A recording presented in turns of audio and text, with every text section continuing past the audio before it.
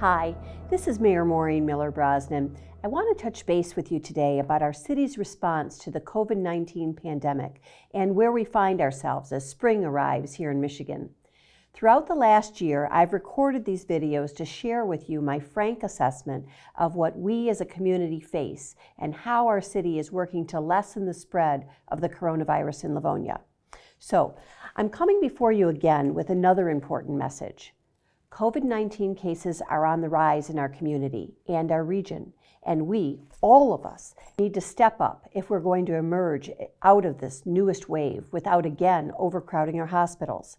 In Livonia, the last week of March has been our third highest week of new COVID 19 cases across the entire pandemic, and the trend is similar across Wayne County.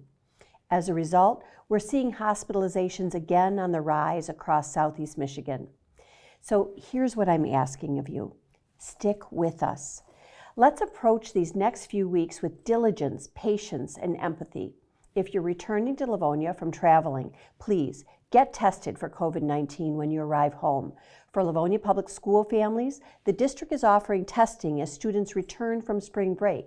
Details are attached to this video continue to be mindful if you're someone or you or someone you know is experiencing COVID-19 symptoms and seek out testing if you don't feel well. Wear a mask and be sure to abide by social distancing in public settings. When it's your turn, please join me in receiving the COVID-19 vaccine. Frontline workers are counting on you. They're counting on me to keep them safe.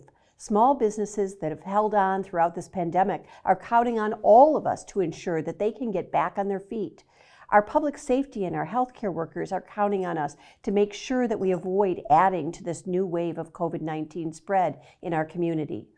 The increase in cases, it's hard to understand, but it's happening. And we must pull together to do even more to prevent another surge of this horrible pandemic we have so much to look forward to.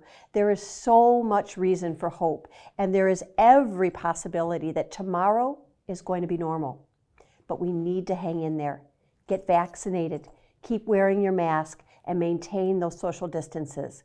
We will find our way through this.